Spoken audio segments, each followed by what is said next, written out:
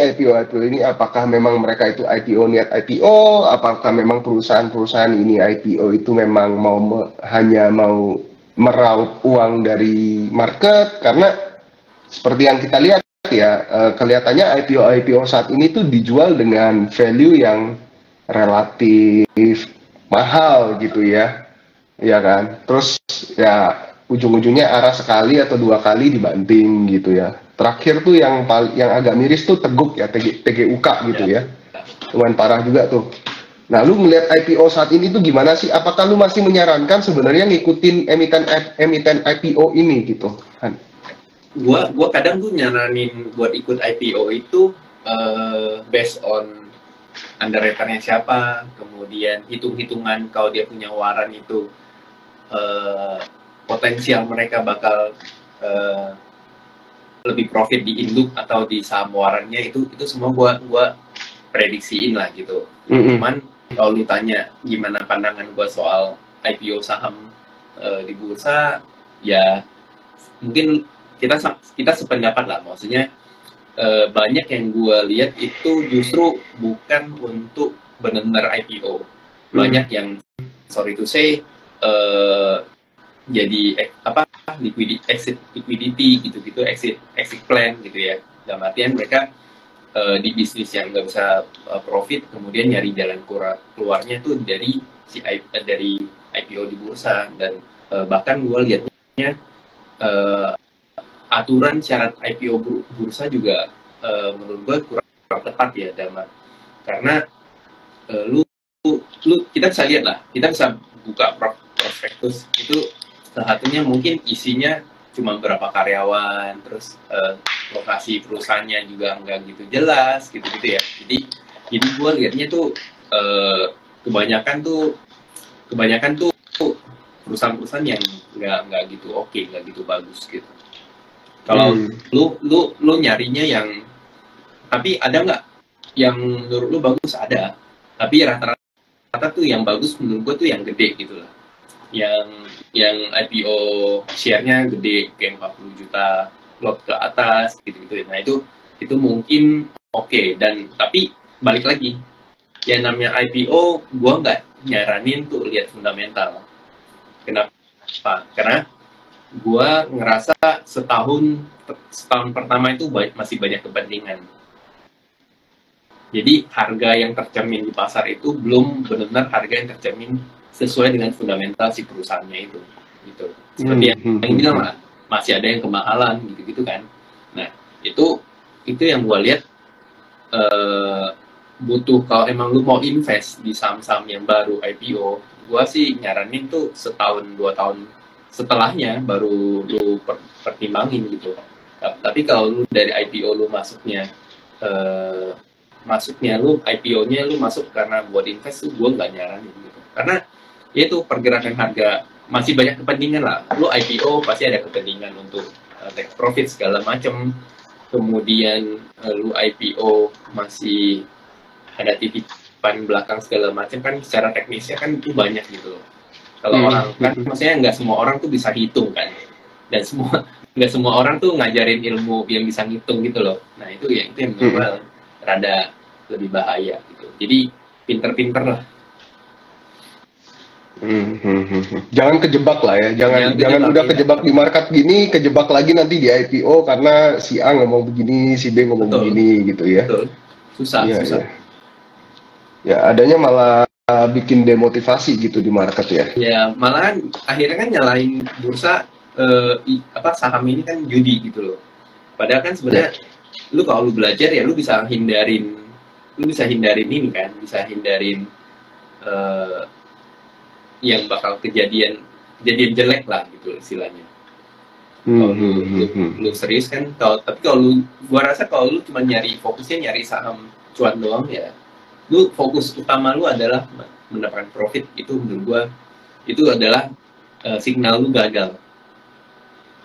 Ya ya ya ya ya. I see I see I see. Oke, okay, Han. Uh, 20 hari ini ya kalau nggak salah FOMC ya? ya Ya hari ini, malam ini jam satu ntar. Jam satu ya? Hmm. Gimana pandangan? Naik atau? Naik sih. Karena based enggak. on the Fed meeting kemarin kan udah bakal nunjukin dua kali kenaikan ya. dua kali kenaikan Dua kali ya. kenaikan terus eh, konsensus pasarnya kan juga menilai 25 basis point bakal naik lagi walaupun inflasinya udah nyentuh 3,1 ya kalau nggak salah. Nah, tapi gua ngerasa eh, kenaikan inflasi eh kenaikan suku bunga ini bukan cuman karena inflasi, tapi mereka juga harus jaga apa mata uang mereka. Dolar kan sempat di bawah, DXY kan sempat di bawah 100 kan? 100 Ya. Mm-mm. Nah, itu gua rasa dengan kenaikan suku bunga, kemudian mereka baru ngelolosin debt ceiling-nya mereka, kan ha- eh, harusnya mereka harus mempertahankan eh, dolar itu biar menarik gitu loh, Kayak gitu. Nah, itu itu yang gua lihat dan gua ngerasa kayaknya market juga udah price in dengan kenaikan 25 basis point itu udah nggak terlalu masalah. Bahkan ketika ternyata nih, misalkan ternyata uh, surprisingly si the Fed-nya menahan Halt. suku bunga. Mm-mm. halt. Nah itu buat ke equity itu kenceng, buat ke risky aset itu kenceng gitu. Nah beda cerita kalau ternyata tiba-tiba dia naikin 50 basis point. Nah itu itu menurut gua nggak mungkin dan eh, begitu itu kejadian pasti kita rontok. Maksudnya risky aset itu pasti rontok gitu loh. Gitu. Nah, I cuman masalahnya gue lihat kalau masih ada ke- kemungkinan naik dua kali eh, tahun ini tuh berarti artinya US bonds ya mereka juga masih masih menarik kan karena dari awal tahun kan kita memprediksi mereka itu bakal cut rate kan. Ya. Ya, tapi kan akhirnya kayaknya gue lihat beberapa research analis itu eh, akhirnya memprediksi kayaknya cut rate-nya tuh bulan apa tahun depan bukan tahun depan ya tahun depan bukan tahun ini jadi ya kita bersabar Hmm. lagi mundur ya cut rate-nya ya. Mhm. Hmm, hmm, I see, I see. Tapi eh, ya ini kemarin eh, Gubernur Pak Ferry juga Gubernur BI cukup bold juga ya, masih berani nahan suku bunga yang udah ke beberapa bulan ini 5,75 ini. karena karena nggak mau nggak mau Vin, eh, Vin. karena kalau dia nggak ketahan kan terus the Fed apa eh, Fed rate-nya masih naik Hmm, ya jarak kita kan ada lumayan gitu. Gimana pun kan kredit ratingnya US kan lebih bagus ya, dibanding ya, kita ya. kan. Nah itu itu yang itu yang menurut gua tuh eh, kita menurut gua dan kita dan menurut gua kita nahan tuh juga juga udah bagus gitu. Hmm. Udah bagus. Gak mungkin Tapi menurut- duluan sih. Tapi apakah dengan kita menahan ini menurut lu equity kita lebih tidak lebih tertekan dibandingkan kita ikut menaikkan Han? Hmm, enggak. Karena kalau kita ikut menaikkan pun, eh, gua ngerasa bakal sama aja ya. Bakal sama Nggak aja. ada impact signifikan ya kalau kita naik nggak ada, 25 nggak basis sampai ada 50 basis point ya. Heeh, Uh, bener. Malah, gua takutnya kalau paling impactnya tuh ya yang sektor-sektor eh, rate sensitif bakal kegoncang lagi. Ya kan, otomatis eh, kayak nggak usah ngomong properti lah, tapi eh, yang paling paling simpel itu kayak eh, sektor eh, kredit kendaraan bermotor segala macam. Nah itu kan juga bakal berimpact dan mungkin salah satunya nanti impactnya ke penjualan motor gitu dan berujungnya ya impactnya ke GDP kita juga. Itu doang sih Oke. paling gue yang gue lihat. Cuman kayaknya kalau lu nanya signifikan apa enggak, gue ngerasa enggak enggak bakal signifikan sih. Nggak bakal signifikan ya Hmm. kalau pandangan lu ya. Ngomong-ngomong sektor propertihan, Ya. nah, akhir-akhir ini kalau kita lihat IDX properti itu kan menarik ya. Ah. Eh, menurut lu masih bakal lanjut nggak properti ini dengan dengan suku bunga yang quote and quote masih mahal ini?